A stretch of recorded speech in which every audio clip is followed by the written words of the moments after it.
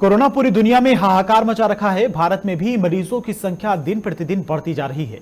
भारत सरकार के साथ साथ राज्य सरकार भी युद्ध स्तर पर बचाव में जुटी हैं। वहीं सरकार आम लोगों से भी अपील कर रही है कि ज़्यादा से ज़्यादा सावधानी बरतें और खुद के साथ साथ दूसरों को भी कोरोना से बचाएँ।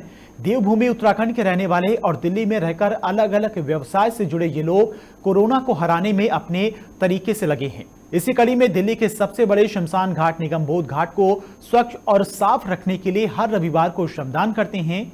अभी देश के दूसरे हिस्सों के साथ साथ दिल्ली में भी कोरोना का ज़बरदस्त प्रकोप है। ऐसे में शमशान घाट आने वाले लोगों को संक्रमण से बचाने के लिए पूरे, परिसर को सैनिटाइज करते हैं। आम लोगों की ऐसी सहभागिता से कोरोना को हराना संभव होगा। सिर्फ़ सरकार ही भरोसे, ये लड़ाई नहीं लड़ी जा सकती है।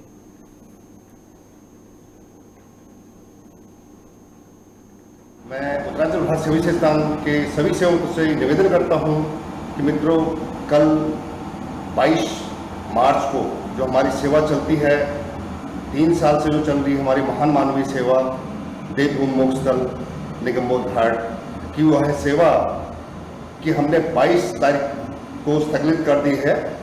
उसकी वजह से हम उस सेवा को आज 21 मार्च को हमने कर दिया है। और उसमें सभी सेवा मित्रों का योगदान रहा। बहुत अच्छी तरीके से हमने घाट को बिल्कुल साफ़ धुलाई करके, फिनाइल से सैनिटाइज करके घाट को हमने काफ़ी कुछ वहाँ साफ़ सफ़ाई आज कर दी है।